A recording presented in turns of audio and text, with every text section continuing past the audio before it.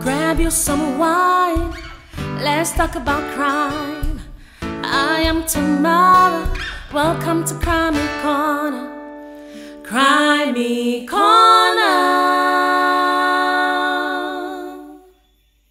Hi everybody and welcome to my YouTube channel. I am Tamara and I love to talk about crime stories that took place right here in the Caribbean. So if that's what you're into then go on right ahead, subscribe and yeah, hit that notification bell so you will not miss when I upload new videos. With that out of the way and that being said, I hope everybody is doing wonderful. I hope that you're doing all right. Thank you for stopping by and I hope that you come back and you like what you see and you're interested in what I have to say. And yeah, so grab you something to drink, grab you some wine. I have mines as usual. You don't have to drink wine though, you can drink water, you can drink some tea, whatever floats your boat. Get some snacks and let's jump right into this crime story. So it's very, very crimey. I am sure all the persons from St. Vincent and the Grenadines know about this one.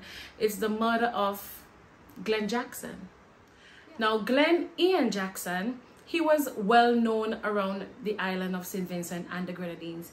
He was first respected as a teacher and then he left his teaching career to join the broadcasting team at the country's national broadcasting station NBC.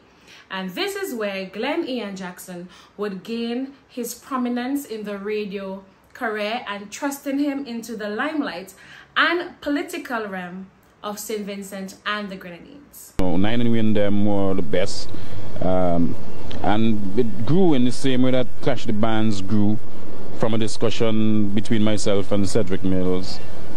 And that's, I think, the way that things successful usually come about. Um, not anything where you sit down and plan out, but of course you, you, you start, you put plans in place after you've got the idea. In the 1990s, he began hosting the first ever radio talk show program called Shake Up. Now, if you remember Shake Up, if you've listened to Shake Up before, then drop me a comment down below, say Shake Up down below, if you've ever listened to Shake Up before, right?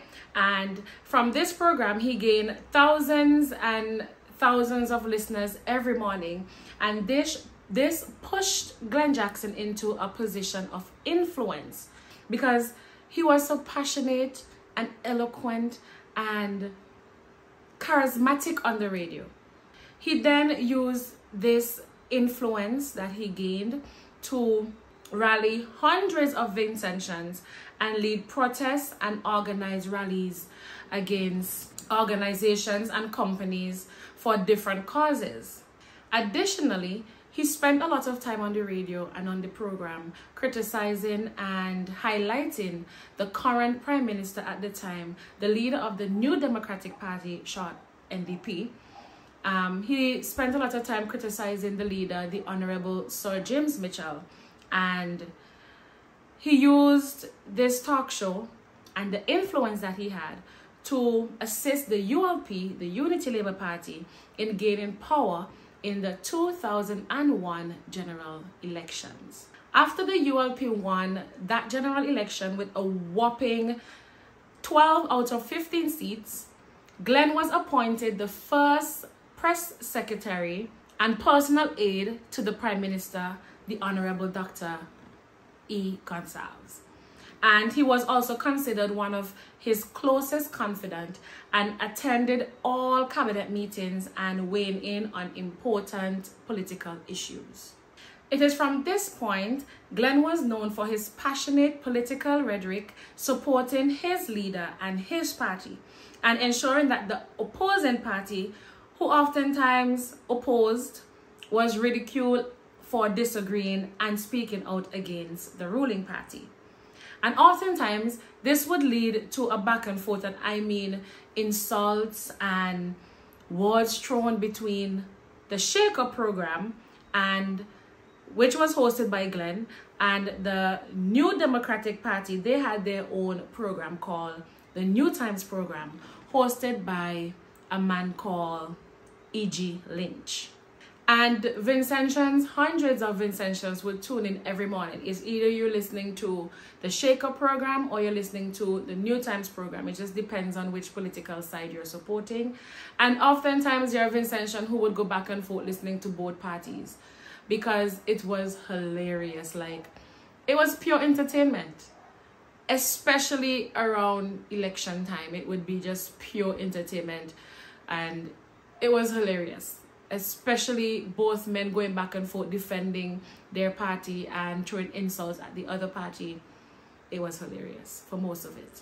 It would be heated between these two parties on the radio on their programs. And it was during this time that glenn he led well he helped the ulp secured another win in 2005 continuing his role as the press secretary and personal aide to the prime minister dr ralph gonsalves and the Tuesday before the election is Red Tuesday.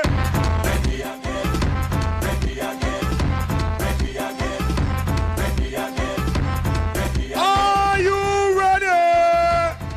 Hold on, hold on, hold on, hold on, hold on. It's a labor thing, see? And now, let's go with the flags.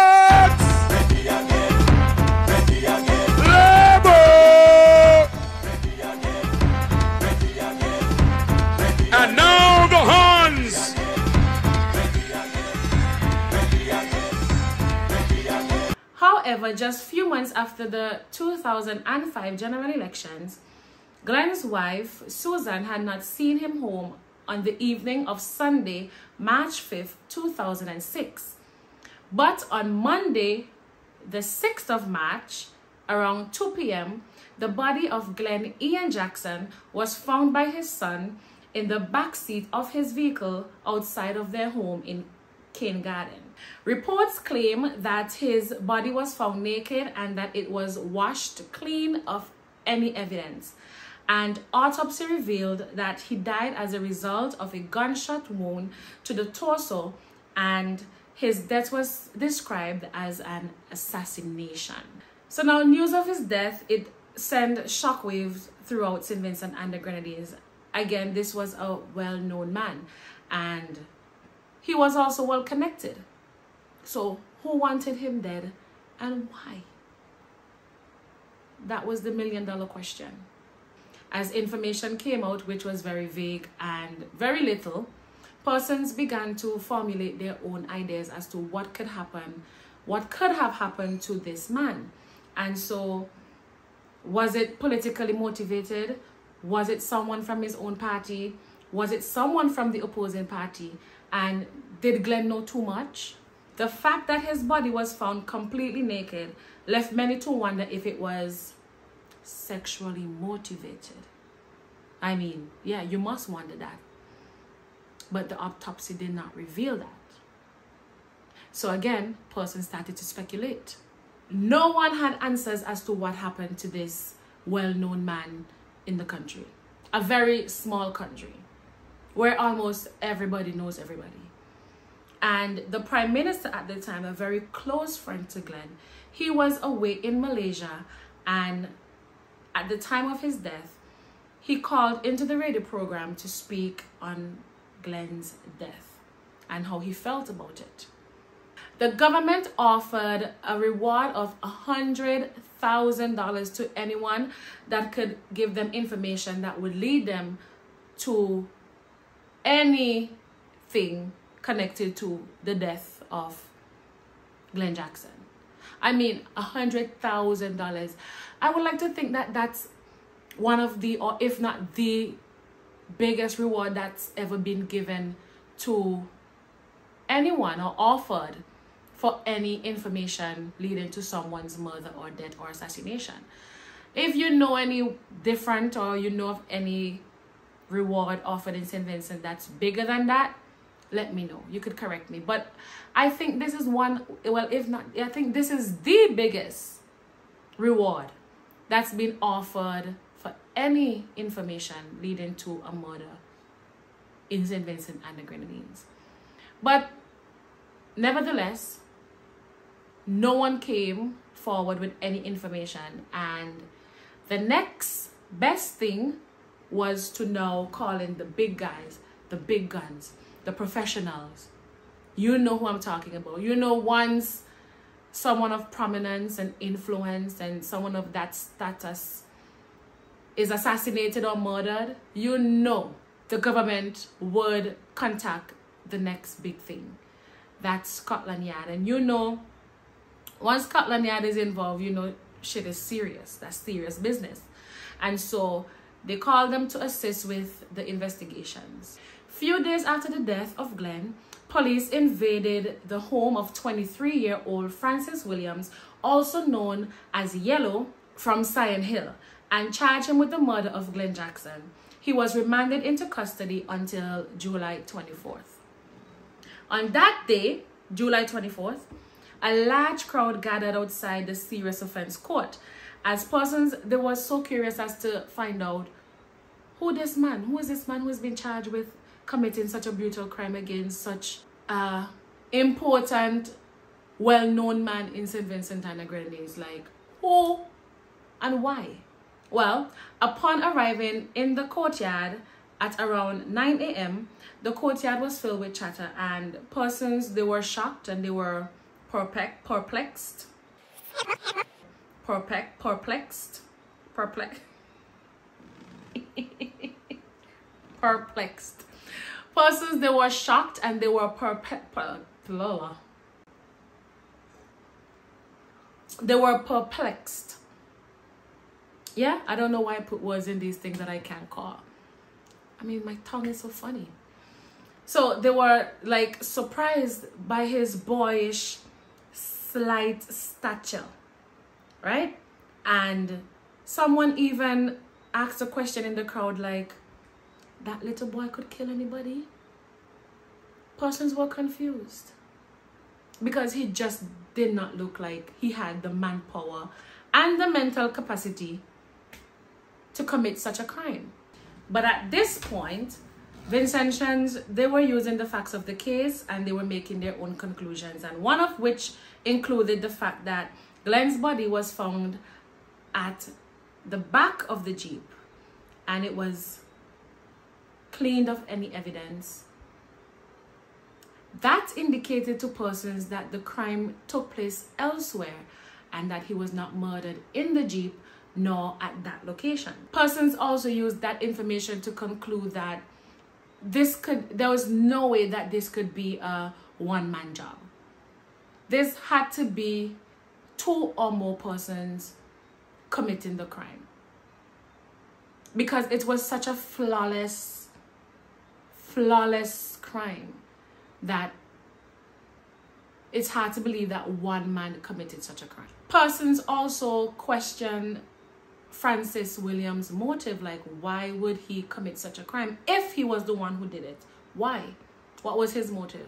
The prosecutors, they claim that Francis gave the police an oral confession detailing what took place between him and Glen. That confession was thrown out and was deemed inadmissible. After spending 21 months in prison, on February 28, 2008, Francis Williams walked away a free man. And minute, minutes after, prosecutors threw in the towel and discontinued the matter against him. Francis stated that he knew that one day he would walk away free. He also claimed that they would not be able to tell lies all the time and get away with it. Who they? I'm not sure. Maybe the government, maybe the prosecutors, the police, or all of them combined.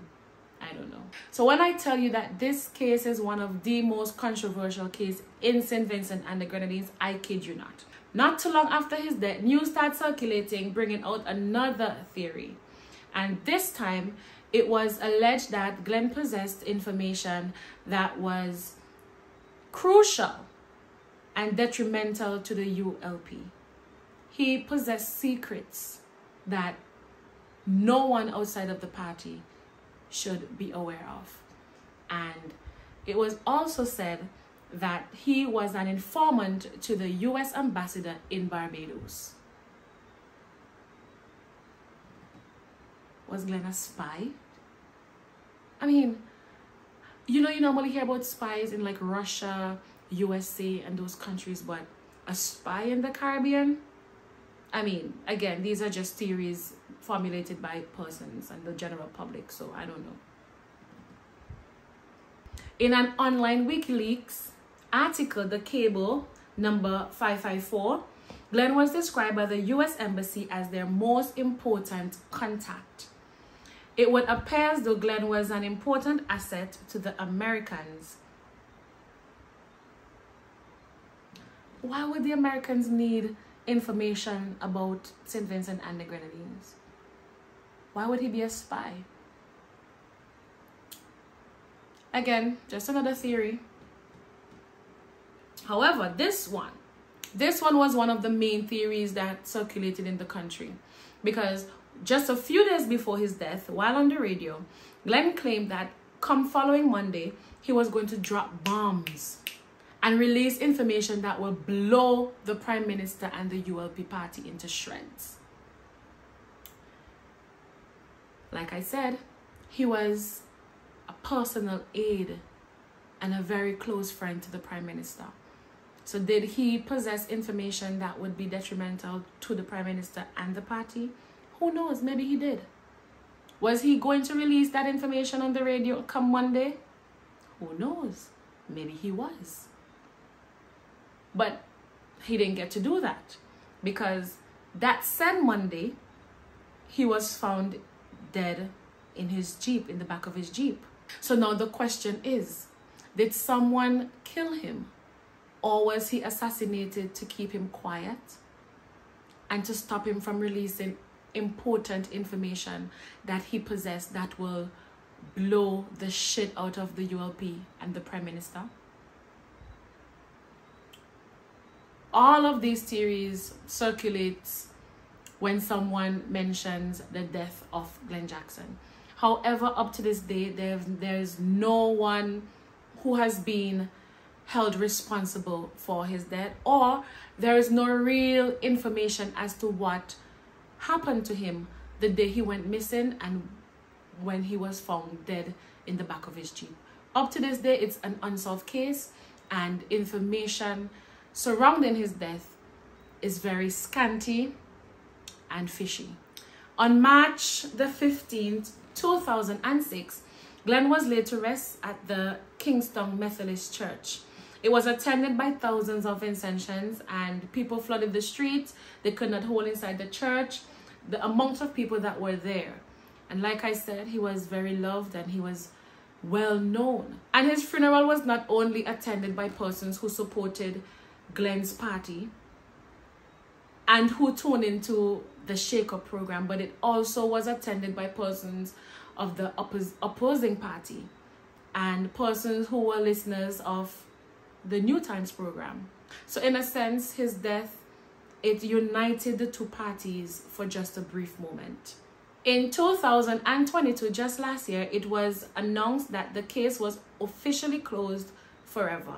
And with that, we will never know what really happened to Glenn. And I've given you different theories. I've given you different information and facts that floated around about his case. There's too many theories going around. All that could be true and not true. But you're free to formulate your own theory and to pick the one that's more, most logical to you and sounds just about right. If you have one, then let me know in the comment section below. We could discuss it down there. Thank you for sticking around till the end. Thank you for watching and see you in the next one. Bye.